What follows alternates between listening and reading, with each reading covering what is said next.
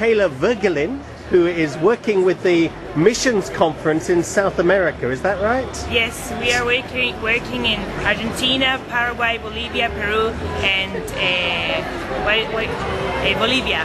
Yes. Fantastic. Tell us what the conference will look like in South America. Um, it's a little bit like MissionNet. Uh, 2,000 people are coming next year, 2010, in January, and we will have a different night every evening, a worship evening, uh, intercession evening.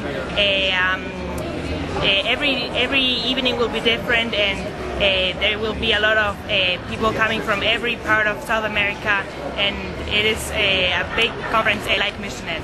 Fantastic. Now, if you want to find out more about the conference, have you got a website they can go to? Uh, yes, uh, www.cima2010.com. www.cima, C-I-M-A 2010.com.